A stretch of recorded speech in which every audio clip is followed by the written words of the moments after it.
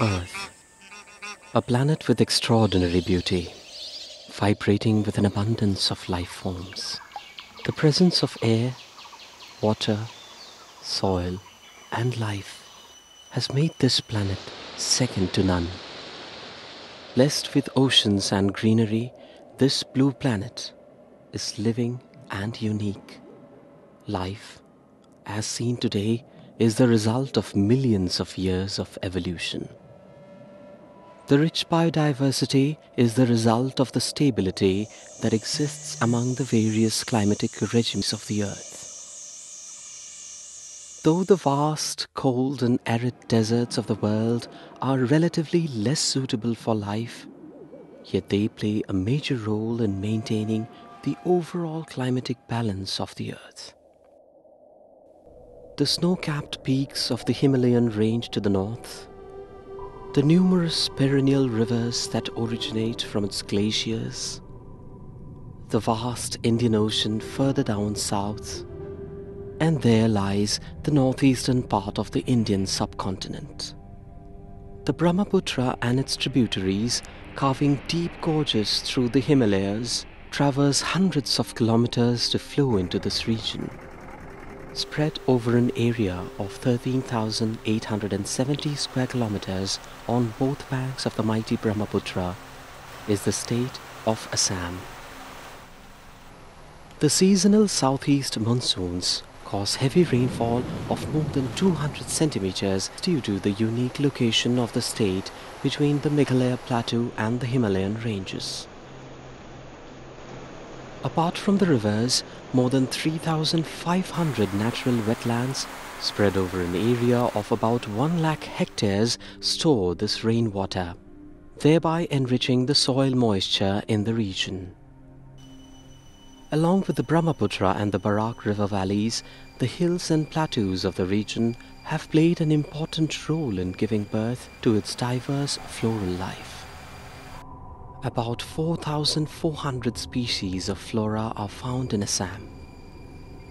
The regions in southern and eastern parts of Assam, which receive an average annual rainfall of more than 230 centimeters, are dominated by tropical wet evergreen forests. On the other hand, the western region of the state is mostly covered with tropical moist deciduous forests dominated by sal trees. The transition zones between the two forest types are dominated by semi-evergreen forest patches. Different types of grasslands are found in the floodplains. Various species of bamboo, shrubs, freshwater mangroves, creepers, climbers, herbs and orchids too contribute to the enormous biodiversity of the state. The Himalayan biodiversity hotspot lies to the north of the Brahmaputra River, while the Indo-Burmese biodiversity hotspot lies to its south.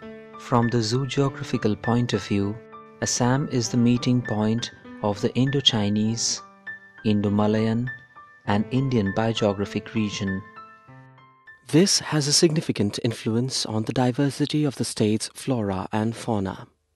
To ensure the in situ biodiversity conservation, a network of protected areas has been established throughout the state.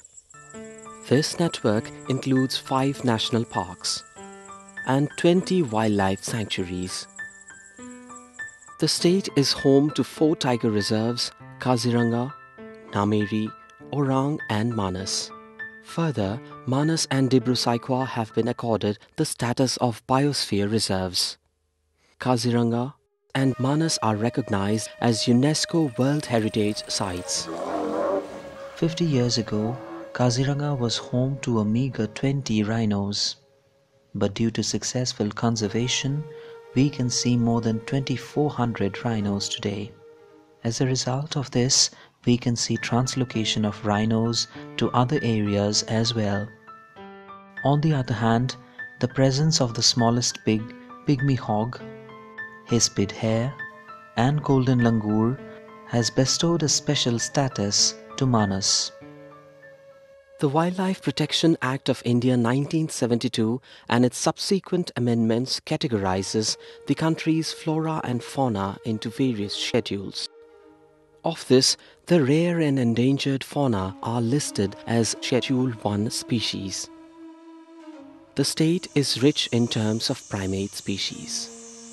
The golden langur, Phayre's leaf langur, and capped langur, the three long-tailed species, the short-tailed and medium-tailed macaques like the Assamese macaques, pig-tailed macaques, and stump-tailed macaques Likewise, the two tailless primate species, Slow loris and Hoolock gibbon, are found only in northeast India. Sometimes, many large wildlife species like the tiger and rhino are found in and around the villages along with suitable migration routes in the state. The tea gardens, hillocks, dense forests, bamboo patches, etc. are the habitat for six Schedule 1 cat species, including the leopard and the clouded leopard. The spotted linsang and the binturong or bear cat and three bear species found in the region, the Asiatic wild buffalo and the gaur, swamp deer, the river dolphin and the clawless otter also belong to the category of Schedule 1 species. A large variety of flora and fauna which are not generally found in the Indian biogeographic region, are also found in Assam, like the holong tree found in the rainforests of Assam and recognized as the state tree, and the rare and endangered bird white-winged wood duck, recognized as the state bird. Similarly, the endangered Chinese pangolin, Chinese porcupine, as well as various varieties of fishes which are found in Assam are also a part of the Indo-Chinese region. About 197 species of fishes are found here, among which the golden mahseer is an endangered species. The protected areas of the state are not the only home of its rich biodiversity. Rather, an abundance of biodiversity is found outside this network of protected areas as well. Birds such as the greater adjutant stork, a globally endangered bird, along with Schedule 1 bird species like the Bengal florican, many species of hornbills, vultures, birds of prey, hill myna, white-bellied heron, the large whistling teal, etc. are regularly seen outside the region's protected areas. Out of the 900 odd bird species found in Assam, about 280 species are migratory. The wetlands are filled with a large number of local and migratory birds during winters. Routes used by many bird species to migrate over thousands of kilometers have been established through scientific studies.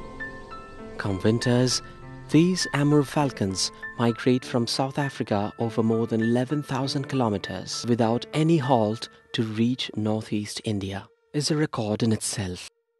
Trees which fall into the rivers due to bank erosion provide an ideal habitat for many turtle species. Assam is home to about 116 varieties of reptile species, including many endangered and endemic species. This includes many species of arboreal, aquatic, and terrestrial venomous and non-venomous snakes, lizards, skinks, and tortoise. Python is found extensively throughout the state. One species of crocodile and three of the monitor lizard species of Assam are categorized as Schedule 1. Numerous amphibians from small to big abound the various biomes of the state. The conservation and sustainable development of these biodiversity ensured, then Assam has tremendous scope to develop the tourism sector as well. This is the Maguri wetland in Tinsukia, the northeasternmost district of Assam. A tourism establishment is born out of the efforts of the villagers. The existence of an intimate relationship between the villagers of Barekuri, near Maguri, with this family of Hoolock gibbons helps attract many tourists to the village.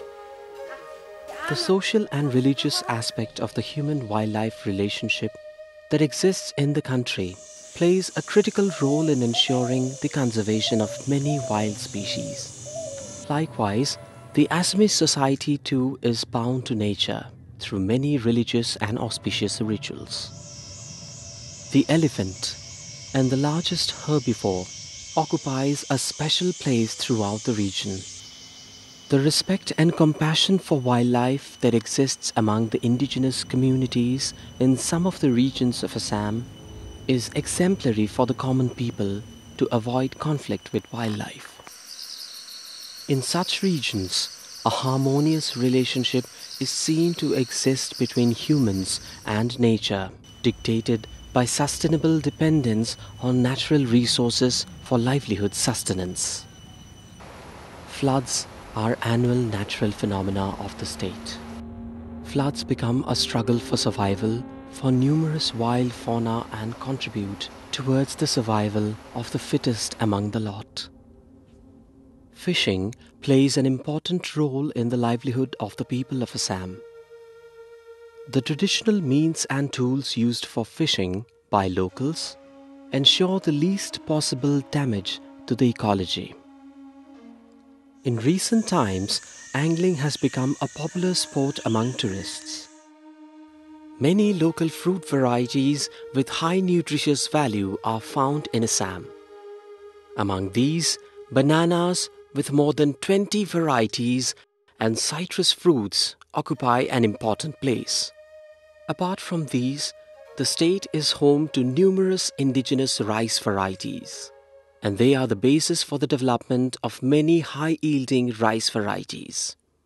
Similarly, local varieties of domestic cattle, poultry, etc., too play a critical role in the culture, life, and livelihood of the people of the state. Assam is also a center of cultural diversity, being home to various community and tribes. State flower fox-tailed orchid occupies a special place in the cultural life of Assam. The Atlas moth, the largest moth in the world with a wingspan of about 10 inches, is often spotted in the local habitats. The endemic wild silk moth varieties such as Eri, Muga, and Tussar, along with mulberry silk, a domestic variety locally known as Pat, are playing an important role in the development of the state's sericulture industry.